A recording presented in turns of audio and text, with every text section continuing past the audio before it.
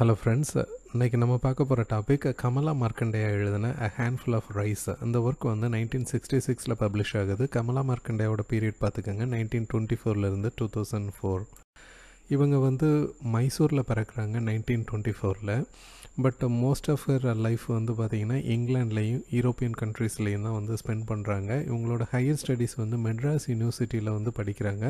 But அதை complete பண்ணாமலே ஒரு இன்கம்ப்ளீட்டாகவே அதை விட்டுறாங்க.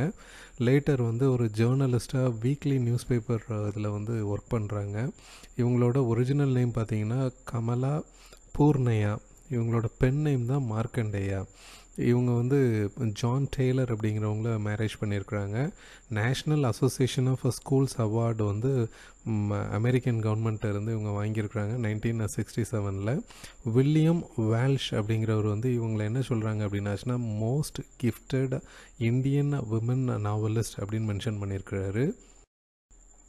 இவங்க வந்து மொத்தம் எயிட் நாவல்ஸ் எழுதியிருக்கிறாங்க.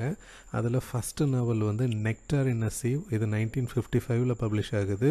நமக்கு ப்ரிஸ்கிரைப் பண்ணியிருக்க அ ஹேண்ட்ஃபுல் ஆஃப் ரைஸ் வந்து இவங்களோட fifth novel a handful of rice அதனுடைய தீம் அப்படின்னு பார்த்தீங்கன்னா வில்லேஜில் ஃபார்மர்ஸ் வந்து ரொம்ப புவர் ஃபார்மர்ஸ் வந்து தங்களோட லைஃப்பை வந்து இம்ப்ரூவ் பண்ணணுங்கிற ஆசையில் வந்து சிட்டியை நோக்கி வர்றது தான் இதனோட தீம் லவ்வும் ஒரு தீமாக இருக்குது இங்கே வந்து சீன் ஆஃப் ஆக்ஷன்ஸ் பார்த்திங்கன்னா மோஸ்ட்லி மெட்ராஸை பேஸ் பண்ணி தான் எல்லாமே இருக்குது. இந்த ஒர்க் வந்து இன்னும் மைன்யூட்டாக சொல்லணும் அப்படின்னாச்சுன்னா struggles of survival housing accommodation இதை பற்றி கூட ரொம்ப மைன்யூட்டாக டீல் பண்ணியிருக்கிறாங்க. Uh, இந்த ஸ்டோரியோடைய இம்பார்ட்டண்ட் கேரக்டர் பார்த்தீங்கன்னா ரவிசங்கர். இவர் வந்து இங்கே ரவி ரவின்னு தான் மென்ஷன் பண்ணியிருப்பாங்க but full name is Ravishankar. இவர் வந்து ஒரு ஃபார்மரோட சன் புவர் ஃபார்மர்ஸ் சன் வில்லேஜில் இருக்கக்கூடிய பாவர்ட்டியிலேருந்து எஸ்கேப் ஆகிறதுக்காக என்ன செய்கிறாரு அப்படின்னாச்சுன்னா சென்னைக்கு வராரு. Nearly three years ago he left his family அப்படிங்கிற மாதிரியான இன்ஃபர்மேஷன் புக்கில் இருக்குது ஸோ எத்தனை வருஷம் ஆயிடுச்சு அப்படின்ட்டு கேட்டாங்கன்னா த்ரீ இயர்ஸ் அப்படின்னு ஞாபகத்தில் வச்சுக்கோங்க. சீன் ஆரம்பிக்கும் போதே ஃபஸ்ட்டு ஃபஸ்ட்டு கதை ஆரம்பிக்கிறதே எப்படி ஆரம்பிக்குது அப்படின்னாச்சுன்னா ரவி வந்து ஒரு ட்ரெயின்லேருந்து வெளியில் வர்ற மாதிரியும். ஏன்னா இவர் வந்து ஒரு பிளாட்ஃபார்மில் தூங்கக்கூடிய ஒரு ஆள். வீடுன்னு ஒன்றுமே கிடையாது. வில்லேஜ்லேருந்து சிட்டிக்கு வந்ததுனால ஒரு ரெண்ட் எடுத்து வீடு தங்குற லெவலுக்கு இவர்கிட்ட வந்து கையில் காசு இருக்காது. வெரி வெரி புவர் பர்சன் அதனால் ரயில்வே ஸ்டேஷனில் பார்க்கில் இந்த மாதிரி இடங்களில் படுத்து தூங்கக்கூடிய ஒரு பர்சன் ஸோ ஒரு ட்ரெயின்லேருந்து வெளியில் வர மாதிரி பிகாஸ் ஒன் பிளாட்ஃபார்ம்லேருந்து அதர் பிளாட்ஃபார்முக்கு இவர் வந்து என்ன செய்கிறாருன்னா ட்ரெயின் வழியாக உள்ளுக்குலேருந்து வெளியில் வராரு. அப்போ வந்து சந்தேகப்பட்டு ஒரு போலீஸ்மேன் என்ன பண்ணுறாருன்னா இவர்கிட்ட வந்து நீ யார்? என்னன்னு கேட்குறாரு so he answers his name's Ravi but அந்த நேரம் பார்த்தீங்கன்னா கொஞ்சம் இவர் வந்து um, லிக்கர் கன்சியூம் பண்ணியிருப்பார் ஸோ அதனால் போலீஸ்மேன் என்ன செய்வார்னா your trunk where did you get it அப்படின்னு சொல்லி கேட்பார் ஸோ போலீஸ் வந்து பார்த்து கேட்டவுடனே இவர் பயந்து என்ன செஞ்சிருவார் அப்படின்னாச்சுன்னா ஓட ஆரம்பிச்சிருவார். ஓடி வர்றவன் அங்கே இருக்கக்கூடிய ஒரு வீட்டு பக்கத்தில் ஒளிஞ்சிக்கிறான். போலீஸால் கண்டுபிடிக்க முடியல போலீஸ் போயிடுது அந்த வீட்டோட விண்டோ பார்த்தீங்கன்னா ஒரு ரஸ்டி விண்டோவாக இருக்குது அந்த விண்டோ வழியாக எட்டி பார்க்குறான் உள்ளே ஒரு ஓல்டு மேன் இருக்கிறாரு. அந்த ஓல்டு மேனை பார்த்து என்ன சொல்கிறான் அப்படின்னாச்சுன்னா I am hungry I need food அப்படின்னு சொல்லி சத்தம் போடுறான். எனக்கு கதவை தர எனக்கு சாப்பாடு வேணும் அப்படின்னு சொல்கிறான் ஸோ அந்த ஓல்டு மேன் என்ன செய்கிறாருன்னா பயந்து போய் கதவை திறக்க மாட்டேங்கிறாரு. இதில் கோவம் அடைஞ்சவன் என்ன பண்ணுறான் அப்படின்னாச்சுன்னா ட்ரங்கன் மூடில் அங்கே அந்த விண்டோவில் இருக்கக்கூடிய ரெண்டு bar two rusty iron rods என்ன செஞ்சிடறான்னா உடச்சிடறான். ஸோ இவன் ஃபர்தராக அந்த விண்டோவே உடச்சிடக்கூடாதுங்கிறக்காக அவர் என்ன பண்ணுறாரு அப்படின்னாச்சுன்னா டோரை திறந்துறாரு. ஏன்னா இது ரொம்ப இந்த வீடும் ரொம்ப பாவர்ட்டியில் இருக்கக்கூடிய வீடு தான் ஸோ அதனால் டோரை திறந்துறாரு. உள்ளே போகிறவன் வந்து சாப்பாடை டிமாண்ட் பண்ணி வாங்கி சாப்பிட்றான். என்ன சாப்பிட்றான் அப்படின்னாச்சுன்னா bread butter milk sweet potato இதை வாங்கி சாப்பிட்றான். அதுக்கப்புறமா மேட்ரஸ் பில்லோலாம் வாங்கி அங்கேயே படுத்து தூங்கிடுறான். நல்லா தூங்கிறான் காலையில் எழும்பி பார்த்தாச்சு அப்படின்னா அவனுடைய கால் காலை வந்து என்ன பண்ணியிருக்காங்கன்னா சைக்கிள் செயினால் கட்டி போட்டிருக்காங்க. கையை வந்து காட்டன் சேரியை வச்சு நல்லா கட்டி போட்டிருக்கிறாங்க. அப்போ தான் ஒரு மிடில் ஏஜ்டு ஃபேட் லேடி அப்படின்னு மென்ஷன் பண்ணியிருக்காங்க. ஒரு அம்மா வராங்க. அவங்க என்ன செய்கிறாங்கன்னா பயங்கரமாக போட்டு அடிக்காங்க இவனை. ஸோ அடிக்கிறதுல இவனுக்கு ப ரத்தம் பயங்கரமாக வந்துடுது கொஞ்சம் மயங்கின நிலைமை மாதிரி ஆயிடுறான். ஸோ இதை பார்த்து பயந்து போய் எல்லோரும் என்ன பண்ணுறாங்கன்னா கட்டெல்லாம் அவுத்து போட்டுட்டு அவனுக்கு வந்து ஃபஸ்ட் எய்ட் பண்ண ஆரம்பிச்சிடுறாங்க. ஸோ இப்போ என்ன ஆயிடுச்சு அப்படின்னாச்சுன்னா ஃபேமிலிக்கு இவன் மேலே ஒரு சிம்பத்தி வந்துடுது ரொம்ப மோசமாக அடிச்சிட்டோமோ அப்படின்னு சொல்லிட்டு. ஸோ காலையில் காஃபி சாப்பாடெல்லாம் கொடுத்து அனுப்புகிறாங்க ஸோ இந்த வீட்டில் யாரெல்லாம் இருக்கிறாங்க? இந்த ஹவுஸில் இருக்கக்கூடிய ஃபேமிலி டீட்டெயில் பார்த்தீங்கன்னா இந்த ஓல்டு மேன் அப்படின்னு சொன்னவர் தான் அந்த ஃபேமிலியோட ஹெட் பர்சன் இவர் தான் அந்த வீட்டே வீட்டுக்கே வந்து உழைச்சி சம்பாதிச்சு அந்த வீட்டை காப்பாற்றிட்டு இருப்பார். இவரோட பேர் அப்பு ஓல்டு டெய்லர் இவரோட ப்ரொஃபஷன் வந்து டெய்லரிங் இவங்களுடைய ஒய்ஃப் தான் வந்து ஜெயமா இவங்க தான் அந்த மிடில் ஏஜ்டு விமன் இவங்க மிடில் ஏஜ் பட் இவர் வந்து ஓல்டு பர்சன் இவங்களுக்கு டூ டாட்டர்ஸ் இருக்காங்க. ஒரு பொண்ணு வந்து நளினி அன்மேரிட் அனதர் டாட்டர் வந்து தங்கம் இவங்களோட ஹஸ்பண்ட் நேம் வந்து புட்டண்ணா. புட்டண்ணா வந்து வேலை வெட்டிக்கே போகாமல் ஒரு ஷாப் வச்சுருந்துருப்பார். அதெல்லாம் லாஸ் ஆகி ஒய்ஃபு வீட்டோடய வந்து சும்மா வெட்டியாக இருப்பார். Another person Verma. வர்மா யார் அப்படின்னாச்சுன்னா அப்புவோட நெஃப்யூ இவனும் வந்து பெருசாக வேலைக்கெலாம் போகாமல் அந்த வீட்டில் வந்து அப்புவோட வருமானத்தில் வாழக்கூடியவங்க. குமரன் அப்படின்னு சொல்லிட்டு அனதர் பர்சன் இந்த வீட்டில் இருக்கிறான். அவன் பேர் அவன் வந்து ஒரு கிரிப்பிள் ஸோ இவ்வளோ பேர் இருக்கிறாங்க. யாருமே வந்து ஃபினான்ஷியலாக சப்போர்ட் பண்ண மாட்டாங்க. அப்போ தான் வந்து ஒரு டெய்லராக இருந்து இவ்வளோ பேரையும் காப்பாற்றிட்டு இருப்பான். நெக்ஸ்ட் டே பார்த்தீங்க அப்படின்னாச்சுன்னா இப்போ வந்து ரவி வந்து இந்த வீட்டில் சாப்பிட்டுட்டு வெளியில் போயிட்டான். வெளில போகிறவன் திரும்பவும் ரயில்வே ஸ்டேஷன் போகிறான் ஏன்னா இவனுடைய ஸ்டே பண்ணுற இடமே பார்த்தீங்கன்னா பப்ளிக் பிளேசஸ் தான். இவனுக்குன்னு ஒரு வீடு கிடையாது. ஸோ தாமோதர் அப்படிங்கக்கூடியவனை பார்க்குறான். தாமோதர் யார் அப்படின்னாச்சுன்னா இவனுக்கு வந்து வில்லேஜில் இருந்து சிட்டிக்கு வந்ததுக்கப்புறமா தா தாமோதர் வந்து ஒரு கம்பேனியன் மாதிரி. தாமோதர் வந்து ஒரு கிரிமினல் ஆக்டிவிட்டீஸ் உள்ள ஒரு பர்சன் ஸ்மக்லர் பட் ரவி வந்து அந்த லெவலுக்கு கிரிமினல் ஆட்டிடியூடு உள்ளவன் கிடையாது. ஸோ ப பட் வந்து ரெண்டு பேரும் வந்து இந்த மாதிரி பிளாட்ஃபார்மில் படுக்கிறது பெஞ்சஸில் படுக்கிறது அந்த மாதிரி இடங்களில் படுத்துப்பாங்க. ஸோ தாமோதர்கிட்ட போய் த தனக்கு நடந்த விஷயங்கள் எல்லாத்தையுமே இவன் வந்து ஷேர் பண்ணுறான் அதுக்கப்புறமா மறுநாள் என்ன பண்ணுறான் அப்படின்னாச்சுன்னா இவங்க வீட்டுக்கு திரும்பவும் வரான். திரும்பவும் வந்து என்ன பண்ணுறான்னா அந்த விண்டோவை வந்து நான் சரி பண்ணி தரேன் அப்படின்னு சொல்லி சொல்கிறேன் ஏன்னா இவன் வந்து நான் உடச்சிட்டான். ஸோ அங்கே வந்து சிக்ஸ் பார்ஸ் இருக்குது சிக்ஸ் பார்ஸ் வந்து ரெண்டடி உயரத்தில் இருக்குது எல்லாமே ரஸ்டடாக இருக்குது அதனால் நான் எல்லாத்தையுமே சரி பண்ணி தரேன் அப்படின்னு சொல்லி சொல்கிறான் அப்போ வந்து அப்பு இல்லை ஜெயமாட்டை தான் பேசுகிறான் ஸோ அதுக்கு வந்து ஒரு ஃபோர் ஃபைவ் ருபீஸ் ஆகும் அப்படின்னு சொல்லி கேட்குறான் அவங்க எவ்வளோ கொடுக்குறாங்கன்னா ஃபைவ் ருபி நோட்டு கொடுக்குறாங்க. இதெல்லாம் objective information five rupee note கொடுக்குறாங்க. இவன் நேராக எங்கே போகிறான்னா ஒரு பிளாக் ஸ்மித் கண்ணன் சொல்லி ஒரு பிளாக் ஸ்மித் இருக்கிறாரு. இவர் யாருன்னா இவனுக்கு ஆல்ரெடி பரிச்சயமானவர். ஏன்னா இவன் வந்து வில்லேஜ்லேருந்து வந்து ரொம்ப நாள் ஆயிடுச்சு இல்லையா? இவர்கிட்டையும் இவன் வந்து என்ன செஞ்சுருப்பான் அப்படின்னாச்சுன்னா ஒரு டைமில் வேலை செஞ்சுருப்பான். ஸோ அதனால் இவருக்கு இவனை நல்லா தெரியும். ஸோ இவர் என்ன பண்ணுறாரு அப்படின்னாச்சுன்னா இவனுக்கு அந்த இரும்பு ராடு அந்த சிக்ஸ் பார்ஸ் வந்து ரெடி பண்ணி கொடுக்குறாரு. ஸோ இனிஷியலாக ரவியோட பிளான் என்ன அப்படின்னாச்சுன்னா நாலு ரூபா செலவாயிடுச்சின்னு சொல்லி எடுத்துகிட்டு ஒரு ரூபா ரிட்டர்ன் பண்ணணும்னு நினைக்கிறான். ஏன் அப்படின்னு நினைக்கிறான் அப்படின்னாச்சுன்னா ஆக்சுவலாக கண்ணன் வந்து எந்த காசுமே வாங்கலை. ஃப்ரீ ஆஃப் சார்ஜில் வந்து அந்த பார்ஸை கொடுக்குறான். ரவி வந்து அதனால் என்ன நினைக்கிறான்னா ஃபோர் ருபீஸை தனக்கு எடுத்துக்கணும்னு நினைக்கிறான். ஆனால் என்ன பண்ணுறான்னா கொஞ்சம் நல்ல மனசு உள்ளவன்.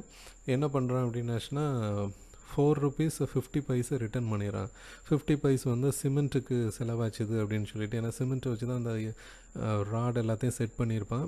ஸோ அதுக்கு செலவாச்சுதுன்னு சொல்லி ஃபிஃப்டி பைஸ் எடுத்துகிட்டு ரிமைனிங் ருபீஸ் வந்து கொடுத்துருவான். அப்போ ஜெயம்மா என்ன பண்ணுறாங்க அப்படின்னாச்சுன்னா டுவெண்ட்டி ஃபைவ் பைஸ் வந்து இவனுக்கு கை செலவுக்காக வச்சுக்கோ அப்படின்னு சொல்லி கொடுக்குறாங்க. ஸோ இப்போ வந்து இப்போ தான் அந்த வீட்டில் இருக்கக்கூடிய அன்மேரிடு கேர்ளில் நளினியை அவன் பார்க்குறான் இவனுக்கு அவளை பார்த்தோன்னே ரொம்ப பிடிச்சி போகுது. ஸோ இவன் என்ன பண்ணுறான் அப்படின்னாச்சுன்னா அந்த வீட்டில் வீட்டில் உள்ளவங்ககிட்ட ஒரு நல்ல பேர் வாங்கணும்னு நினைக்கிறான். நளினியை வந்து பிற்காலத்தில் மேரேஜ் பண்ணிக்கணும்னு நினைக்கிறான். ஸோ தன்னோட ஃப்ரெண்டு தாமோதர்கிட்ட போய் இதை போய் சொல்கிறான் இந்த மாதிரி இந்த வீட்டில் ஒரு பொண்ணு இருக்கிறா. எனக்கு அவளை வந்து மேரேஜ் பண்ணணும்னு ஒரு ஆசை இருக்குது அப்படின்னு சொல்கிறான் ஸோ தாமோதர் வந்து ஒரு ஐடியா கொடுக்குறான். ஏன்னா அவன் ஒரு கிரிமினல் இல்லையா? அவன் என்ன பண்ணுறான்னா பக்கத்தில் ஒரு வேர் ஹவுஸ் இருக்குது அங்கே வந்து ஒரு காஸ்ட்லி கிளாத் மெட்டீரியல்ஸ் இருக்கும். நம்ம அதை வந்து திருடி என்ன பண்ணலாம்? நீ போய் அப்பூட்ட கொடு. ஏன்னா அப்போ ஒரு டெய்லர் இல்லையா? நீ கொடுக்கும்போது அவருக்கு ஒரு மேலே ஒரு நல்ல அபிப்பிராயம் உருவாகும் அப்படின்னு சொல்கிறான் இவனும் அதே மாதிரி என்ன பண்ணுறான் அங்கேருந்து எடுத்து கொண்டு போய் திருடி கொண்டு போய் அப்புக்கு கொடுக்குறான். அப்போ எப்படி பர்சன் அப்படின்னாச்சுன்னா இவனை வந்து ரெகுலர் மீட்டிங்ஸ் நடக்கு. அப்போ வீட்டுக்கு ரெகுலராக போகிறான் இவனுக்கு அப்புக்கு வந்து இவனை ரொம்ப பிடிக்குது. அப்போது வந்து இவன்கிட்ட நிறைய விஷயங்களை ஷேர் பண்ணுறான் அப்போ என்ன பண்ணுறான் அப்படின்னாச்சுன்னா தன்னோட ஃபேமிலி மெம்பர்ஸை வந்து கம்ப்ளைண்ட் பண்ணுறான் ரவிட்ட ஏன்னா வீட்டில் யாருமே வேலைக்கே போகலை. தான் தான் ரொம்ப கஷ்டப்பட்டுட்டு இருக்கதா சொல்கிறான் ஹோல் ஃபேமிலி எக்ஸ்பென்சஸையும் இவன் தான் பேர் பண்ணிகிட்ருக்கான் ஆனால் இவன் ரெகுலர் விசிட்ஸ் வந்து யாருக்கு பிடிக்கல அப்படின்னாச்சுன்னா வர்மாவுக்கு பிடிக்கல. பட் வந்து அப்போ வந்து என்ன பண்ணுறான்னா ரெகுலராக வந்து ரவி வர்றதை விரும்புகிறான் தன்னோட கஸ்டமர்ஸை பார்க்க போகும்போது ரவியையும் கூடவே கூட்டிகிட்டு போகிறான் சில இடங்களுக்கு. அந்த லெவலுக்கு ஒரு ஒரு ஃப்ரெண்ட்லி அட்மாஸ்ஃபியர் இவங்க ரெண்டு பேருக்கும் க்ரியேட் ஆகுது. ஒரு வாட்டி வந்து நுங்கம்பாக்கம் ஒரு கஸ்டமரை வந்து நுங்கம்பாக்கத்தில் பார்க்க போகிறாங்க அப்போ ஒரு ஸ்டோன் பெஞ்சில் உட்காந்துட்டு அப்பு சொல்கிறான் டெய்லரிங்கை பற்றி என்ன சொல்லுவோம்? அப்படின்னாச்சுன்னா goodwill is goodwill of our customers patience care craftsmanship அப்படின்னு சொல்லிட்டு ரெண்டு விஷயத்த மென்ஷன் பண்ணுறான் ஏன்னா டெய்லரிங்கை வந்து பிற்காலத்தில் ஒரு அப்ரெண்டிஸாக வந்து ரா ரவியை வந்து இவன் வச்சுக்கணும் அப்படின்னு நினைக்கிறான். டெய்லரிங் அதை வந்து கற்றுக் கொடுத்து தன்னோட பிஸ்னஸுக்கு இவனை வச்சுக்கணும்னு நினைக்கிறான். அதனால் சொல்கிறான் குட்வில் கஸ்டமரோடைய விருப்பம் தான் நம்ம முக்கியம். பொறுமை ரொம்ப கேர் பண்ணி நம்ம வேலை செய்யணும் அப்படின்னு சொல்லிட்டு டெய்லரிங்கை பற்றி இவனுக்கு கொஞ்சம் கொஞ்சமாக சொல்ல ஆரம்பிக்கும் ஸோ அதே மாதிரி இவனும் வீட்டுக்கு வந்து அப்ரெண்டிஸ்ஷிப் அந்த டெய்லரிங்கில் வந்து சின்ன சின்ன வேலைகளை வந்து செய்ய ஆரம்பிக்கான் அப்போ வீட்டுக்கு வந்து நளினிக்கு ஏதாவது வாங்கிட்டு வரான். எஸ்பெஷலி ஐஸ் கோல்டு கோலா வாங்கிட்டு வரான். பின்னாடி வந்து கொஞ்சம் ரெகுலராக ஷாப்ஸுக்கே கூப்பிட்டு போகிறான் இந்த கோலா குடிக்கிறதுக்காக நளினியை கூப்பிட்டு போகிறான் அவளை வந்து ஒரு வாட்டி ஒரு ஃபில்முக்கு கூப்பிட்டு போகணுன்னு நினைக்கிறான். சகுந்தலா அப்படிங்கக்கூடிய ஃபில்ம் பட் வந்து என்ன ஆகுது அப்படின்னாச்சுன்னா ஜெயமா வந்து தானும் வருவேன் அப்படின்னு சொல்லுவாள் ஸோ என்னன்னா இவங்க ரெண்டு பேருக்கும் நடுவில் வந்து ஜெயமா உட்காந்துப்பா. இவனோட பிளான் வந்து ஒர்க் அவுட் ஆகாது. பட் அந்த ஃபில்முக்கு வந்து இவங்க போயிருப்பாங்க. That is objective information Shakuntala அப்படிங்கக்கூடிய ஃபில்ம் இப்போ வந்து ரவியோட ரொட்டீன் லைஃப் என்ன அப்படின்னாச்சுன்னா மார்னிங் எயிட் ஓ கிளாக் வந்து அப்போ வீட்டுக்கு வருவான். Six or seven o'clock வரைக்கும் ஈவினிங் வரைக்கும் ஒர்க் பண்ணுவான். நைட் என்ன பண்ணுவான் அப்படின்னாச்சுன்னா தனக்கு வீடு இருக்க மாதிரி சொல்லிவிட்டு வீட்டுக்கு போகிறேன்னு சொல்லிவிட்டு நைட்டு பார்க் பெஞ்சு ஏதாவது கடை முன்னாடி டோரில் ஸ்பேஸ் இருந்ததுன்னா அந்த இடத்துல திண்ணையில் அதுக்கப்புறமா வீட்டு முன்னாடி வராண்டா ஏதாவது அதில் இல்லைன்னா நடைபாதையில் இந்த மாதிரி எங்கேயாவது வந்து படுத்துப்பான். Railway station. ரயில்வே ஸ்டேஷன் தான் இவனுக்கு ரொம்ப முக்கியமான ஒரு இடம். அதுக்கப்புறமா செகண்ட் ஹவுஸ் தனக்கு ரெண்டாவது வீடுன்னு எதை சொல்கிறான்னா அங்கே ஒரு காஃபி ஹவுஸ் இருக்கும். காஃபி ஹவுஸுக்கு முன்னாடி இருக்கக்கூடிய நடைபாதையை தான் வந்து இவனுக்கு செகண்ட் ஹவுஸாகவே இவன் சொல்லுவான். இப்போ வந்து என்னென்னா டெய்லி ஒர்க் பண்ணுறதுனால அப்ரெண்டிஸாக இருக்கிறதுனால இவனுக்கு கொஞ்சம் காசு கிடைக்கிது. ஸோ இதை வச்சு என்ன செய்கிறான்னா ரவி வந்து தன்னோட ஃபாதர் ஃபாதரோட பேர் வந்து ராம். அவருக்கு வந்து ஒரு லெட்டர் எழுதுகிறான் தான் வந்து நல்லா இருக்கதா? ஒரு லெட்டர் எழுதுகிறான் அட்ரஸ் என்ன கொடுக்குறான்? அப்படின்னு ஆச்சுன்னா சும்மானாலும் அப்புவோட அட்ரஸை கொடுத்து வச்சிடறான். இப்போ இவனுக்கு வந்து ஃபாதர் மட்டும்தான் வில்லேஜில் இருக்கிறாங்க மதர் கிடையாது. மதர் வந்து ரொம்ப வருஷங்களுக்கு முன்னாடியே இறந்து போயிடுறாங்க. இவன் வந்து இப்போ தான் முத முறை என்ன பண்ணுறான்னா சிட்டிக்கு வந்து நான் தான் நல்லா இருக்கதா லெட்டர் எழுதுகிறான் இவன் ப்ள கேர் ஆஃப் பிளாட்ஃபார்ம் பட் என்ன செய்கிறான் அப்படின்னாச்சுன்னா அப்புவோட அட்ரஸை அந்த லெட்டரில் கொடுக்குறான். இப்போ என்ன ஆயிடுது அப்படின்னாச்சுன்னா அப்போது ராம் வந்து என்ன பண்ணிடுறாருன்னா ரவியோட ஃபாதர் வந்து அப்பு வீட்டுக்கு சடனாக வந்துடுறாரு. தன் பையன் எப்படி இருக்கான்னு பார்க்கணுன்ட்டு ஏன்னா அவர் நினைக்கிறது வந்து அந்த வீடு தன் பையனோட வீடுன்னு நினச்சி ஏன்னா அந்த அட்ரஸ் தானே இவன் கொடுத்துருக்கான். ஸோ இவன் வந்து அப்பு வந்தோன்னே என்ன செய்கிறான்னா அந்த நேரம் வந்து வீட்டில் யாரும் இருக்க மாட்டாங்க. அப் அப்புலாம் இருக்க மாட்டார். ஸோ இவன் என்ன செய்கிறான்னா தன்னோட ஃபாதரை வேக வேகமாக காஃபி ஹவுஸுக்கு கூப்பிட்டு போயிடறான் காஃபி ஷாப்புக்கு கூப்பிட்டு போயிடறான் போயிட்டு தான் வந்து இங்கே இருக்கக்கூடிய ஒரு பொண்ணை திருமணம் செய்ய விரும்புகிறதா சொல்கிறான் நளினியை மென்ஷன் பண்ணுறான் ஸோ அவனோட அப்பாவுக்கு வந்து அதில் ஒரு விருப்பம் இருக்காது. அவர் என்ன சொல்லுவார் அப்படின்னாச்சுன்னா city girls are bolder than village girls அப்படிங்கிற மாதிரியான ஒரு ஸ்டேட்மெண்ட்டை மென்ஷன் பண்ணுவார். அவருக்கு அதில் அவ்வளோ விருப்பம் இருக்காது. பட் என்ன பண்ணுறான்னா மேரேஜ் பிளான் ஆகுது. அப்புவுக்கும் ரவியும் வந்து பிடிச்சிருது. ஏன் அப்படின்னாச்சுன்னா இவருக்கு இருக்கக்கூடிய ஃபஸ்ட்டு சன்னின்லாவோ இல்லை அப்படின்னாச்சுன்னா வீட்டில் இருக்கக்கூடிய வேறு யாருமோ தன்னோட டெய்லரிங் ஃபீல்டை இவனோட காலத்துக்கு அப்புறமா கொண்டு போவாங்க அப்படின்னு இவனுக்கு நம்பிக்கை கிடையாது. இவனுக்கு பையன் கிடையாது. ஸோ அதனால் தன்னோட ப்ரொஃபஷனை ரவியை நம்பி கொடுக்கலாம். தன் பொண்ணை கல்யாணம் பண்ணி கொடுத்தாச்சுன்னா மருமகன் ஆயிடுவான் அதனால் அவனுக்கு கொடுக்கலாம் அப்படின்னு சொல்லிட்டு ரவி விரும்புகிறான் ஸோ நளினிக்கு வந்து டவுரி எதுவுமே தரமாட்டேன். பட் என்னென்னா நீ என்கிட்ட வேலை பார்த்துக்கலாம்.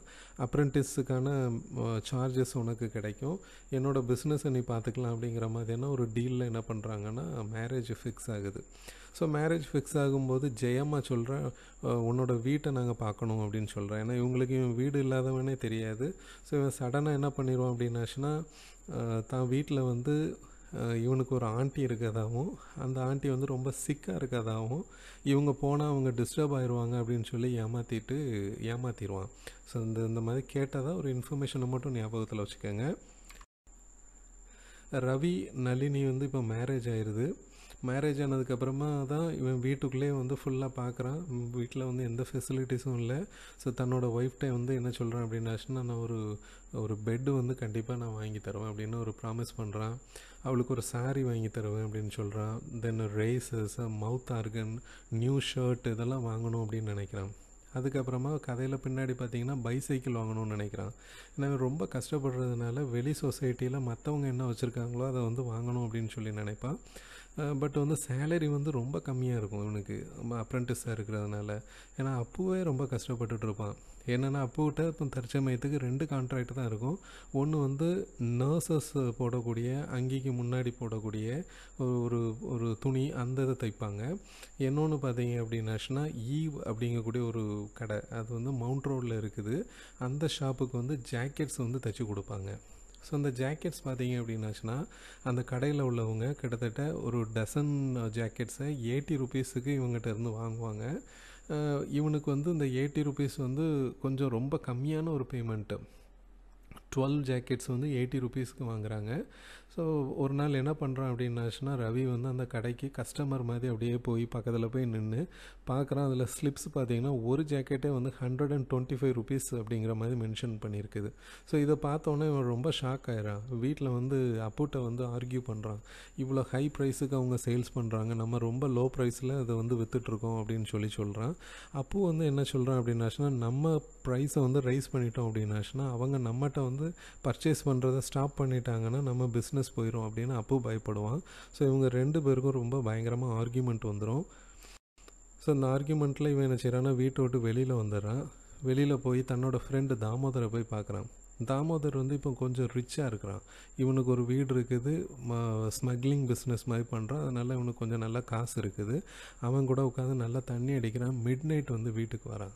ஸோ இந்த மாதிரி இவனோட கேரக்டர் கொஞ்சம் சேஞ்ச் ஆகுது.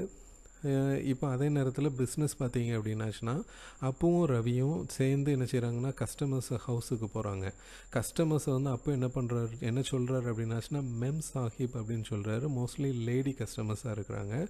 இவனை ஏன் கூப்பிட்டு போகிறாருன்னா ஒவ்வொரு கஸ்டமர்ட்டையும் இவனை பழக்கி விடணுங்கிறக்காக கூப்பிட்டு போகிறாரு பட் இவன் வந்து அவங்க ஒவ்வொரு வீட்டுக்கும் போனோன்னா அங்கே உள்ள லக்ஸூரியஸ் திங்ஸை வந்து ரவி வந்து நோட் பண்ணிகிட்டே இருப்பான். அதை பார்ப்பான். இதே இந்த மாதிரிலாம் வாழ்க்கை வாழ்கிறாங்க நம்ம ஏன் வாழ முடியல அப்படின்னு சொல்லி நினைப்பான். ஸோ வீட்டுக்கு போய் என்ன பண்ணுறான் அப்படின்னாச்சுன்னா வீடு ரொம்ப சின்ன வீடாக இருக்குது. ஸோ ரவி வந்து என்ன பண்ணுறான்னா கண்ணன் பிளாக் ஸ்மித்திட்ட போய் ஒரு லேடர் ஒரு ஒரு லேடரை வந்து பாரோ பண்ணிட்டு வந்து வீட்டுக்கு மேலே ஒரு சின்ன போர்ஷன் க்ரியேட் பண்ணி தனக்கும் தன் ஒய்ஃபுக்கும் தனியாக ஸ்டே பண்ணுற மாதிரி ஒரு ஒரு கைண்ட் ஆஃப் ஸ்மால் ஹவுஸ் மாதிரி க்ரியேட் பண்ணுறான் இப்போ வந்து நளினியோட சிஸ்டர் எல்டர் சிஸ்டர் தங்கம் வந்து என்னென்னா ப்ரெக்னெண்ட்டாக இருக்கிறா. பட் புட்டன்னா நான் சொன்ன மாதிரி ஜாப்லெஸ்ஸாக ஒரு ஒரு வேலை வெட்டிக்க போகாத ஒரு பர்சனாக இருக்கிறான் இவளுக்கு ஒரு ப்ரீ மெச்சூர் சைல்டு வந்து பிறக்குது. அதை பிறக்கும்போது பார்த்தீங்கன்னா இவங்களுக்கு வந்து வீட்டில் வேறு ரூம்ஸே இருக்காது. அதனால் மென் எல்லாத்தையுமே வீட்டை விட்டு வெளியில் போக சொல்லிடுவாங்க ஸோ அதனால் புட்டன்னா என்ன சொல்லுவோம் அப்படின்னாச்சுன்னா வர்மாட்ட ஜெயம்மா வந்து ஒரு டெவில் அப்படின்னு மென்ஷன் பண்ணுவோம் அந்த கேரக்டர்ஸை கொஞ்சம் ஞாபகம் வச்சுக்கோங்க. புட்டண்ணா வந்து தங்கமோட ஹஸ்பண்ட் அங்கே இருக்கக்கூடிய அனதர் பர்சன் வர்மாட்ட வந்து ஜெயம்மாவை கம்ப்ளைண்ட் பண்ணுறான் இவன் வந்து ஒரு டெவில் அப்படின்னு மென்ஷன் பண்ணுறான் அதுக்கப்புறமா பார்த்தீங்கன்னா ரவியோட லைஃப்பில் ரவிக்கு குழந்த பிறக்குது. ரவிக்கு குழந்த பிறக்கும்போது கிட்டத்தட்ட ஒரு சிக்ஸ்டீன் ஹார்ஸ் வந்து வீட்டை விட்டு வெளியில் போய் ரவி இருப்பான். வீட்டிலே இருக்க மாட்டான். ரவிக்கு ஒரு பாய் பேபி பிறக்குது. தங்கமுக்கு பிறந்தது எல்லாமே கேர்ள்ஸாக இருப்பாங்க. இவனுக்கு இப்போ தான் மொதல் குழந்த பிறக்குது. அது வந்து பாய் பேபியாக இருக்குது. அதுக்கு ராஜுன்னு பேர் வைக்கிறாங்க. அதுக்கப்புறமா இந்த ஸ்டோரியில் இந்த நாவலில் ஒரு பீச் சீன் ஒன்று வருது. இப்போ ராஜுக்கு வந்து டூ இயர் ஓல்டாக இருக்குது ஸோ பீச் அப்படின்னாலே ஆக்சுவலாக என்னென்னா ரவிக்கு வந்து பீச்சை பார்த்தாலே பயமாக இருக்கும். அந்த அலை அடிக்கிறதெல்லாம் பார்த்தாலே பயமாக இருக்கும். பட் அவன் பையன் ராஜு வந்து ரொம்ப விரும்புவான். நளினி வந்து எஸ்பெஷலி மெரினா பீச் போகணுன்னு நினைப்பாள் ஏன்னா அங்கே தான் கவர்மெண்ட் பில்டிங்ஸ்லாம் இருக்கும். அந்த பில்டிங்லாம் பார்க்குறக்கு ஆசைப்படுவாள் பட் வந்து இவன் என்ன எங்கே கூப்பிட்டு போவான்னா யூஸ்வலாக சாந்தோம் பீச்சுக்கு கூப்பிட்டு போவான். அங்கே போய் என்ன சொல்லுவான்னா இங்கே தான் போர்ச்சுகீஸ் வந்து மொத மொதல் வந்தாங்க அப்படின்னு சொல்லி மென்ஷன் பண்ணுவான். பட் நளினி என்ன சொல்லுவான்னா இந்த பீச் தான் இருக்கிறதுல ஒஸ்ட் பீச் அப்படின்னு சொல்லி மென்ஷன் பண்ணுவான். மேபி அப்ஜெக்டிவ் இன்ஃபர்மேஷன்ஸ் அதை கேட்கலாம் ஞாபகம் வச்சுக்கோங்க. எந்த பீச்சை நளினி விரும்புவோம் அப்படின்னாச்சுன்னா மெரினா அப்படின்னு ஞாபகத்தில் வச்சுக்கோங்க. ஸோ இப்போ பீச்சில் என்ன நடக்குது அப்படின்னாச்சுன்னா நளினி வந்து அங்கே வரக்கூடிய வெண்டார்கிட்ட பட்டாணி வாங்கி சாப்பிடணும்னு நினைப்பேன் ஸோ அந்த பட்டாணி சேல்ஸ் பண்ணக்கூடிய அந்த பர்சன் வந்து என்ன ட்ரெஸ் பண்ணியிருப்பார் அப்படின்னாச்சுன்னா லைன் கிளாத்தும் ஒரு டர்பனும் யூஸ் வச்சுருப்பார். லைன் கிளாத்துங்கிறது ஒரு அண்டர் கவர்மெண்ட் இப்போ ராஜு என்ன பண்ணுறான்னா கு ரெண்டு வயசு பையன் தானே குட்டியாக இருப்பான் இல்லையா? அவனோட அண்டர் கவர்மெண்ட்டை பிடிச்சி இழுத்துருவான். ஸோ அதனால் இவன் பேலன்ஸ் மிஸ் ஆகி என்ன பண்ணுறான் அப்படின்னாச்சுன்னா பட்டாணி ஒரு ட்ரேயில் வச்சுருப்பான் அது கொஞ்சம் கொட்டிடும் ஸோ இதனால் ரவி வந்து கோவம் அடைஞ்சு என்ன பண்ணுறான்னா தன்னோட பையன் ரெண்டு வயசு பையனை ரொம்ப பயங்கரமாக அடிச்சிடுறான். அதை பீச்சிலே வச்சு ரொம்ப மோசமாக அவனை வந்து தாக்கிறான் ஸோ இது வந்து ஒரு இன்சிடெண்ட் அதுக்கப்புறமா பார்த்தீங்கன்னா வீட்டில் வந்து ரொம்ப கஷ்டமான ஒரு சூழல் போயிட்டுருக்கு. இந்த நேரத்தில் அப்புக்கு வந்து ஸ்ட்ரோக் ஃபார்ம் ஆயிடுது ஸ்ட்ரோக்கில் என்ன ஆயிடுது அப்படின்னாச்சுன்னா இவர் வந்து ரொம்ப அன்கான்ஷியஸ் ஸ்டேஜுக்கு போயிடுறாரு ஒரு ஒரு நாலு நாளாக கண்ணே திறக்க முடியாத ஒரு ஸ்டேஜுக்கு போயிடுறாரு லேட்டராக பார்த்தீங்கன்னா இவரோட ஒரு ஒரு நாலு நாள் கழித்து கொஞ்சம் கொஞ்சமாக வந்து இவருக்கு லெஃப்ட் ஹேண்ட் மட்டும் ஃபங்க்ஷன் ஆகுது. மூணு மாதம் கழித்து தான் எந்திரிச்சு கொஞ்சம் மெல்ல காலை இழுத்து இழுத்து நடக்க ஆரம்பிக்கிறாரு. ஸோ இந்த மாதிரியான ஒரு சூழல்லையும் இவர் வேலை செஞ்சு இவரோட கஸ்டமர்ஸுக்கு கொண்டு போய் சேர்க்க வேண்டிய கிளாத்தெல்லாம் கொண்டு போயிட்டுருக்கிறாரு ஸோ அப்போ ஒரு நாள் ரவி அப்போ ரெண்டு பேரும் சேர்ந்து மெம் சாஹிப்ஸ் ஒரு ஒருத்தங்க வீட்டுக்கு கஸ்டமர் வீட்டுக்கு போகிறாங்க அப்போது ஒரு ஷர்ட்டை வந்து என்ன செய்கிறாரு அப்படின்னாச்சுன்னா அது வந்து ரிச் ஷர்ட்டு ரொம்ப காஸ்ட்லியான ஷர்ட்டு தான். பட் அப்போ வந்து டிமாண்ட் பண்ணுறது ஏழு ரூபா டிமாண்ட் பண்ணுறாரு பட் அந்த லேடி என்ன பண்ணுறாங்கன்னா ஃபோர் ருபீஸ் ஃபிஃப்டி பைஸ் தான் தருவேன் அப்படின்னு சொல்லி டிமாண்ட் பண்ணி அந்த ரேட்டை ஃபிக்ஸ் பண்ணுறாங்க ஸோ இவங்க பேசிகிட்டு இருக்கும்போது பார்த்தீங்கன்னா இவங்க கூடவே ஆக்சுவலாக இவங்களோட அப்புவோட கிராண்ட் சில்ட்ரனையும் என்ன பண்ணியிருப்பாங்கன்னா ரிக்ஷாவில் கூப்பிட்டு வந்திருப்பாரு. அவங்க கேட்டுக்கு வெளியே நின்றுட்டுருப்பாங்க ஸோ இதே எட்டி எட்டி பார்த்துட்ருப்பாங்க ஸோ இவன் அந்த கஸ்டமர் என்ன செய்வா அப்படின்னாச்சுன்னா வெளியில் யார் நிற்கிறாங்க அப்படின்னு கேட்கும்போது அப்போ ரிவீல்ஸ் என்னோடய கிராண்ட் சில்ட்ரன் வெளியில் நிற்கிறாங்க அப்படின்னோடனே இவன் பாவப்பட்டு என்ன பண்ணுவான் அப்படின்னாச்சுன்னா ஒரு பேஸ்கெட் ஃபுல் ஆஃப் ஆப்பிள்ஸ் வந்து கொடுப்பான் ஸோ இதுவும் ஞாபகம் வச்சுக்கோங்க memsahib she gave basket full of apples அப்படிங்கிறத ஞாபகத்தில் வச்சுக்கோங்க. ஸோ இது இவருக்கும் ரொம்ப ஃபிசிக்கலாக ரொம்ப கஷ்டப்படுறாரு. பிஸ்னஸும் ரொம்ப நல்லா போகலை. ஸோ அது ஒரு தீபாவளி டைம் ஒருத்தருக்குமே வந்து துணி கூட எடுக்கலை. என்ன பண்ணுறாங்க அப்படின்னாச்சுன்னா அங்கே ஃபயர் ஃபயர் கிராக்ஸஸ் பண்ணுவாங்களே அதை போய் பார்க்குறதுக்காக எல்லோரும் போகிறாங்க வீட்டில் தான் வெடி வெடிக்கலை. தெருவில் நடக்கக்கூடிய விஷயங்களை பார்த்துட்ருக்குறாங்க எக்ஸப்ட் புட்டன் தங்கமோட ஹஸ்பண்ட் மட்டும் அந்த இதில் கலந்துக்கிடலை. இவன் என்ன பண்ணுறான் அப்படின்னாச்சுன்னா அப்புவுக்கு செப்பரேட் ஒரு ரூம் இருக்கும். அதில் தான் அப்பு படுத்துட்ருப்பார். அவரோட ஏன்னா அப்போ வந்து இப்போ வெளியில் அந்த ஃபயர் ஒர்க்ஸை பார்த்துட்ருக்குறாரு. ஸோ இப்போ என்ன பண்ணுறான் அப்படின்னு அப்படின்னாச்சுன்னா அப்போவோட பில்லோ உள்ளே வந்து என்ன பண்ணியிருப்பாருன்னா காசு ரொம்ப சேர்த்து வச்சுருப்பாரு. யாருக்கும் தெரியாமல் ரொம்ப கஷ்டப்பட்டு கொஞ்சம் ருப்பீஸ் சேர்த்து வச்சுருப்பாரு. அதை போய் திருடிடுவான் அதில் வந்து எவ்வளோ ரூபா இருக்குதுன்னு அப்புவுக்கே தெரியாது. ஏன்னா அதெல்லாம் கவுண்ட் பண்ண மாட்டார். சும்மா அப்பப்போ வச்சுப்பார். ஸோ வர்மா என்ன சொல்கிறான் அப்படின்னாச்சுன்னா அட்லீஸ்ட் டூ தௌசண்ட் ருபீஸாவது அதில் இருந்திருக்கும் அப்படின்னு சொல்லி சொல்கிறான் ஸோ இந்த பில்லோவில் இருக்கக்கூடிய மணியை யார் திருடினா அப்படின்னாச்சுன்னா புட்டனா ஹஸ்பண்ட் ஆஃப் தங்கம் அப்படிங்கிறத ஞாபகத்தில் வச்சுக்கோங்க. அடுத்தது பார்த்தீங்க அப்படின்னாச்சுன்னா தங்கமும் புட்டன்னாவும் இமீடியேட்டாக வீட்டை விட்டு வெளியில் போக சொல்லிடுறாங்க. லேட்டராக தங்கமும் தன்னோட குழந்தைங்களை தூ கூட்டிகிட்டு போயிடுறா. இப்போ வீட்டில் யாரெல்லாம் இருக்கிறாங்க அப்படின்னாச்சுன்னா அப்பு ரவி நளினி இவங்களோட பையன் தென் ஜெயம்மா இவ்வளோ பேர் தான் வீட்டில் இருக்கிறாங்க. இப்போ இவர் என்ன பண்ணுறாரு அப்படின்னாச்சுன்னா அப்பு வந்து தான் க்ரியேட் பண்ண ஒரு ஜாக்கெட்டை கொண்டுட்டு மெம் சாஹிபை பார்க்குறதுக்காக போகிறாரு ஸோ போகும்போது என்ன அப்படின்னாச்சுன்னா எல்லாருமே சேர்ந்தே போகிறாங்க ஒரு ஜுட்கா. ரிக்ஷா வண்டியில் போகிறாங்க ஜுட்கான் தான் மென்ஷன் பண்ணியிருக்காங்க. ஸோ போகும்போது என்ன ஆகுதுன்னா போகும்போதே அப்புக்கு ரொம்ப சீரியஸாக ஃபிசிக்கல் சிக்னஸ் ரொம்ப மோசமாயிருது. இமீடியட்டாக என்ன செய்கிறாங்கன்னா வண்டி அப்படியே திருப்பி கொண்டு போகிறாங்க வீட்டுக்கு கொண்டு போகிறாங்க வீட்டில் போய் பார்த்தா அவர் இறந்துறாரு. ஒரு கஸ்டமரை பார்க்க போகும்போது இவர் இப்படி இறந்துடுறாரு இவர் இறந்ததுக்கப்புறமா மற்ற ரிச்சுவல்ஸ் எல்லாம் முடிச்சுட்டு ரவி வந்து என்ன செய்கிறான்னா அதே சேம் கஸ்டமரை பார்க்க போகிறான் பட் என்ன பிரச்சனை அப்படின்னாச்சுன்னா அந்த கஸ்டமர் வந்து ஒரு கவுன் ஆர்டர் பண்ணியிருப்பாங்க. ஜாக்கெட்டில் கவுன் ஆர்டர் பண்ணியிருப்பாங்க. எதுக்காக ஆர்டர் பண்ணியிருப்பாங்க அப்படின்னாச்சுன்னா அவங்களுக்கு வந்து ஒரு சாட்டர்டே வந்து ரிசப்ஷன் இருக்கும். அதுக்காக அவங்க என்ன செஞ்சுருப்பாங்கன்னா ப்ரீவியஸாகவே மண்டே எனக்கு வேணும்னு சொல்லியிருப்பாங்க. பட் இவங்க இவங்களால வந்து அதை கொடுக்க முடியாது. நெக்ஸ்ட் மண்டேயில் கொண்டு வந்து ரவி நிற்பான் ஏன்னா because of the death of Appu இவனால் வந்து கரெக்டாக அதை டெலிவரி பண்ண முடியாது. ஸோ அந்த கஸ்டமர் வந்து இவன் இழந்துருவான். அந்த கஸ்டமர் வந்து வெளியில் போன்றுருவாங்க இப்போ வீட்டுக்கு வர்றவன் என்ன செய்கிறான் அப்படின்னாச்சுன்னா ரொம்ப கோவத்தில் தன்னோட ஒய்ஃபையே அடிக்கிறான். தன்னோட ஸ்ட்ரெஸ்ஸை ஃபுல்லாத்தையும் எங்கே காமிக்கிறான் அப்படின்னாச்சுன்னா ஒய்ஃப் அடிக்கிறான். She is pregnant with another child அப்போ அவளுக்கு ஒரு லேபர் பெயின் வந்துடுது அவளுக்கு ஒரு ட்வின் கேர்ள்ஸ் வந்து பிறக்கிறாங்க. ரெட்டை குழந்தைங்க பிறக்கிறாங்க.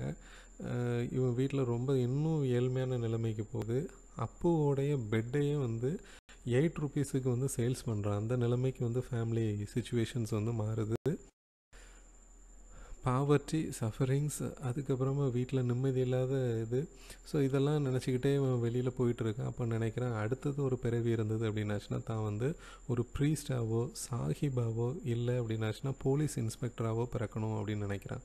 ஸோ இதை ஞாபகத்தில் வச்சுக்கோங்க. அப்படியே போயிட்டு தாமோதர் அப்படிங்கக்கூடிய ஃப்ரெண்டை போய் பார்க்குறான். இப்போ அவன் ரொம்ப பெரிய பணக்காரனாக இருக்கிறான். அவன்கிட்ட போய் தன்னோட கஷ்டத்தெல்லாம் சொல்கிறான் ஸோ அவன் என்ன அட்வைஸ் பண்ணுறான் அப்படின்னாச்சுன்னா இப்போ உனக்கு சிட்டிலாம் செட் ஆகாது. நீ வில்லேஜுக்கே போ அப்படின்னு சொல்கிறான் இவன் வந்து இல்லை என்னால் சிட்டி போக முடியாது அப்படின்னு சொல்லி மென்ஷன் பண்ணுவான். ஸோ அப்போ அவன் என்ன சொல்லுவான்னா என்கிட்ட வேணால் நீ வேலை செய்ய அப்படின்னு சொல்லி தாமோதர் ஒரு ஆஃபர் கொடுப்பான். பட் ரவி என்ன ஃபீல் பண்ணுவான் அப்படின்னாச்சுன்னா தாமோதரோடைய பிஸ்னஸே ஒரு இல்லீகல் பிஸ்னஸ் ஸோ இந்த மாதிரியான ஒரு டர்ட்டி ஜாபை நம்ம பண்ணக்கூடாது அப்படின்னு சொல்லிட்டு வீட்டுக்கு போயிடுவான் இப்போ வீட்டுக்கு போகிறவன் என்ன பண்ணுவான் அப்படின்னாச்சுன்னா நளினி வந்து அங்கே வீடு வந்து ரொம்ப ரொம்ப இறுக்கமான ஒரு சூழலில் இருக்கிறதுனால தன்னோட ஹஸ்பண்டுக்கு ஒரு பாம் லீஃப் ஃபேன் வந்து வச்சுருப்பா. ஒரு விசிறி மாதிரி வாங்கி வச்சுருப்பா. அந்த விசிறியை வீசுவா. பட் அவன் என்ன நினைப்பான் அப்படின்னாச்சுன்னா வீட்டில் காசே இல்லை. உனக்கு எங்கேருந்து இது கிடச்சிது அப்படின்னு சொல்லி சொல்லு கேட்பான் அவளை சந்தேகப்பட்டு என்ன பண்ணிடும் அப்படின்னாச்சுன்னா உனக்கு வேறு எவனோ வாங்கி கொடுத்துருக்கான் அப்படின்னு சொல்லிட்டு ஹி டெஸ்ட்ராய்ஸ் இட்டு அதை அப்படியே உடச்சி தூரத்துக்கு போட்டுறான். ஸோ இந்த மாதிரியான ஃபேமிலி லைஃப் வந்து இவனுக்கு ரொம்ப மோசமாக போயிட்டே இருக்குது. இவனுக்கு ஒரு uh, வேறு ஏதாவது கான்ட்ராக்ட் கிடைக்குமா அப்படின்னு சொல்லி பார்க்குறான். அப்போ ஒரு கான்ட்ராக்ட் கிடைக்கிது. என்ன அப்படின்னாச்சுன்னா ஹெம்மிங் ஷீட்ஸ் ஹாஸ்பிட்டலுக்கு இந்த ஷீட்ஸ் ரெடி பண்ணி கொடுக்குறது. இது வந்து ரொம்ப புவராக பே பண்ணுறாங்க ரொம்ப கம்மியான அமௌண்ட்டு தான் இவனுக்கு வந்து கொடுக்குறாங்க. இருந்தாலும் அந்த வேலையை எடுத்து செய்கிறான் எதுக்குன்னா அட்லீஸ்ட் ஏதாவது ஒரு வேலை செஞ்சு தன்னோட லைஃப்பை கொண்டு போகணும் லீட் பண்ணணும்னு நினச்சி இதை செய்கிறான் இதே நேரத்தில் பார்த்தீங்கன்னா விலைவாசி வந்து ரொம்ப மோசமாக மாறுது. சாப்பிடக்கூடிய தானிய வகைகளுடைய விலைகள் வந்து ரொம்ப அளவுக்கு அதிகமாக போகுது. அப்போ வந்து வீட்டில் வந்து தன்னோட வரவு செலவுகள் கணக்கெல்லாம் வச்சு நளினிட்ட இன்னும் மோசமாக வந்து இவன் வந்து குரல் பண்ணுறான் அவளை அடிக்கிறான். ஸோ அதனால் அவள் என்ன பண்ணுறா அப்படின்னாச்சுன்னா தன்னோட குழந்தைங்களெல்லாம் கூட்டிகிட்டு வீட்டை விட்டு வெளியில் போயிடுறா. எங்கே போயிருக்கானே தெரியாத லெவலுக்கு போயிடுறா. நைட்டு வர்றவன் என்ன பண்ணுறான் அப்படின்னாச்சுன்னா தன்னோட மதரின்ல ஜெயம்மாவை வந்து ஹி ரேப்ஸ் அந்த சீனும் இந்த இதில் நாவலில் மென்ஷன் பண்ணியிருக்காங்க. லேட்டராக பார்த்தோன்னா நளினி எங்கே போயிருப்பான்னா தன்னோட சிஸ்டர் தங்கம் வீட்டுக்கு போயிருப்பா. அங்கே போய் என்ன பண்ணிடுவான் அப்படின்னாச்சுன்னா ரவி வந்து திரும்ப அவளை கூட்டிகிட்டு வந்துடுவான் ஜெயமாவும் தனக்கு நடந்ததை வெளியில் ரிவீல் பண்ண மாட்டா. இது இந்த மாதிரி போயிட்டு இருக்கும்போது ரவியோட பையன் ராஜுக்கு வந்து இப்போ ஃபீவர் வருது. காது ரொம்ப வலிக்கிறதா சொல்கிறான் இயர் ஏக் அப்படின்னு சொல்லி மென்ஷன் பண்ணுறான் ரவி என்ன பண்ணுறான்னா இருக்கக்கூடிய பிஸி ஷெட்யூலில் ஏன்னா காலையிலேருந்து மிட் நைட் வரைக்கும் வந்து ஒர்க் பண்ணிகிட்ருப்பான் ப்ளஸ் கையில் மணியும் இருக்காது. அதனால் டாக்டரை போய் பார்க்குறத அவன் விரும்ப மாட்டான். ஆஸ்ப்ரோ அப்படிங்கக்கூடிய மெடிசன் எடுக்க சொல்லுவான். ஸோ அதை எடுக்கிற பையன் வந்து நைட்டு ஃபுல்லாக வந்து தூங்க முடியாமல் ரொம்ப கஷ்டப்பட்டுட்ருப்பான் நெக்ஸ்ட் டே வந்து டாக்டர் வருவார். டாக்டர் வந்து செக் பண்ணிவிட்டு என்ன சொல்லுவாருன்னா ராஜு வந்து சஃபர்ஸ் ஃப்ரம் மெனிங்டிஸ் அப்படிங்கக்கூடிய அது அதாவது பேக்டீரியல் இன்ஃபெக்ஷன் இன் பிரெயின் அப்படின்னு சொல்லி மென்ஷன் பண்ணுவார். ஹாஸ்பிட்டலில் அட்மிட் பண்ணி தான் ட்ரீட்மெண்ட் பண்ணணும் அப்படின்னு சொல்லுவார். பட் இவனுக்கு வந்து ஹாஸ்பிட்டலில் கொண்டு போய் ட்ரீட்மெண்ட் கொடுக்குற லெவலுக்கு தன்ட்ட வந்து மணி இருக்காது. ஸோ அதனால் அவன் பையனை வந்து மெடிசன் இவனாகவே கொடுத்துட்டு அப்படியே பார்த்துட்டே இருப்பான். இவன் பையன் வந்து இவன் கையிலே வந்து இறந்து போயிடுவான் அப்படியே வழி தாங்க முடியாமல் அழுதுகிட்டே இருப்பான். இவனுக்கும் என்ன பண்ணுன்னு தெரியாது. ஹாஸ்பிட்டல் கொண்டு போகிற லெவலுக்கு இவன் கையில் காசு இல்லாதனால இவன்கிட்ட இறந்து போயிடுவான் இப்போ வந்து இவனுக்கு என்ன தோணுது அப்படின்னாச்சுன்னா இந்த சொசைட்டி மேலே ரொம்ப கோவப்படுறான் ஏன்னா இதே சொசைட்டியில் பணக்காரங்களாக இருக்கக்கூடியவங்களும் இருக்கிறாங்க. நம் இவனை மாதிரி ரொம்ப வேலை பார்த்தும் அதிகமாக ம மணி ஏர்ன் பண்ண முடியாதவங்களும் இருக்கிறாங்க. ஸோ சொசைட்டி மேலே உள்ள கோபத்தில் என்ன செய்கிறான் அப்படின்னாச்சுன்னா நம்ம வந்து இப்படி நியாயமாக வேலை செய்கிறதுக்கு பதிலாக தாமோதர்கிட்ட போய் வேலைக்கு சேர்ந்துக்கலாம் அப்படின்னு சொல்லிட்டு தாமோதரை போய் மீட் பண்ணுறான் அவன்கிட்ட என்ன சொல்கிறான் அப்படின்னாச்சுன்னா நான் என்ன வேணாலும் செய்கிறேன் எனக்கு ஏதாவது வேலை கொடு அப்படிங்கிறான். ஸோ என்ன சொல்கிறேன் I have come and this time anything அப்படின்னு சொல்கிறான் பட் தாமோதர் என்ன சொல்கிறான் அப்படின்னாச்சுன்னா are you fit for anything நீ வந்து இப்போ எப்படி இருக்க? அப்படின்னாச்சுன்னா உன்ட்ட வந்து உடம்புல ஒன்றுமே இல்லை. You have no heart no spleen no light no guts அப்படின்னு சொல்லிட்டு வேலைக்கு சேர்க்க மாட்டேன்றான். ஸோ இப்போ துக்கமாக வீட்டுக்கு வந்துட்டு இருக்கான் பார்க்குறான் தெருவில் வந்து ஒரு பெரிய கேங் வந்து போயிட்டுருக்கு. அந்த கேங்கோட கேங்காக இவனும் வந்து ஆட்களோடு போகிறான் ஏன்னா இதே மாதிரி இவனே மாதிரி கஷ்டப்படக்கூடியவங்க நிறையா பேர் ஒரு ரேலி மாதிரி போகிறாங்க அவங்க என்ன செய்கிறாங்கன்னா rice today rice rice rice today அப்படின்னு வந்து கோஷங்கள் போட்டு போகிறாங்க ஏன்னா எல்லாருமே கஷ்டப்படுறாங்க. ஸோ இவங்க நேராக எங்கே போகிறாங்க அப்படின்னாச்சுன்னா ஒரு கவர்மெண்ட் குடவுனுக்கு அந்த குடவுன் எப்படிப்பட்ட குடவுன் அப்படின்னாச்சுன்னா பஞ்ச காலங்களில் பஞ்சம் வரும்போது ஃபேமினுக்காக ரிசர்வ் பண்ணி ரைஸை வந்து வச்சுருக்க இடம். அங்கே போய் குடவுனை உடச்சி எல்லோரும் ரைஸ் எல்லாம் அள்ளிட்டு இருப்பாங்க.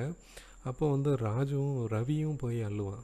ஸோ அப்போ வந்து அங்கே பிளாக் ஸ்மித் கண்ணன் இவன் வந்து ரொம்ப நல்ல பர்சன் இவன் வந்து என்ன சொல்லுவான் அப்படின்னாச்சுன்னா ரவி இந்த மாதிரி பண்ணாத நீ இதில் கலந்துக்கிடாத அப்படின்னு சொல்லிட்டு அந்த சைடு கண்ணன் ஒன்றுப்பான் அவன் வந்து சத்தம் போடுவான். ஸோ அவன் அட்வைஸ் பண்ணிகிட்டு இருக்கும்போதே போலீஸ் வந்துடும் போலீஸ் வந்தோடனே எல்லாத்தையும் பயங்கரமாக அடித்து விரட்டிடுவாங்க ஸோ இப்போ என்ன ஆயிடுது அப்படின்னாச்சுன்னா ரைஸ் வந்து எல்லா இடமும் செதறி கிடக்குது. இவன் அந்த இடத்துல இருந்து தப்பிச்சு ஓடுறான். ஓடுறவன் என்ன பண்ணுறான் அப்படின்னாச்சுன்னா இன்னொரு கேங்கோட சேர்ந்துக்கிறான். த போலீஸ்லேருந்து தப்பிச்சிட்றான். இன்னொரு கேங்கோட சேர்ந்துக்கிறான். இந்த கேங் என்ன பண்ணுறாங்க அப்படின்னாச்சுன்னா ஒவ்வொரு கடைகளையும் அடித்து நொறுக்கிட்டு வராங்க.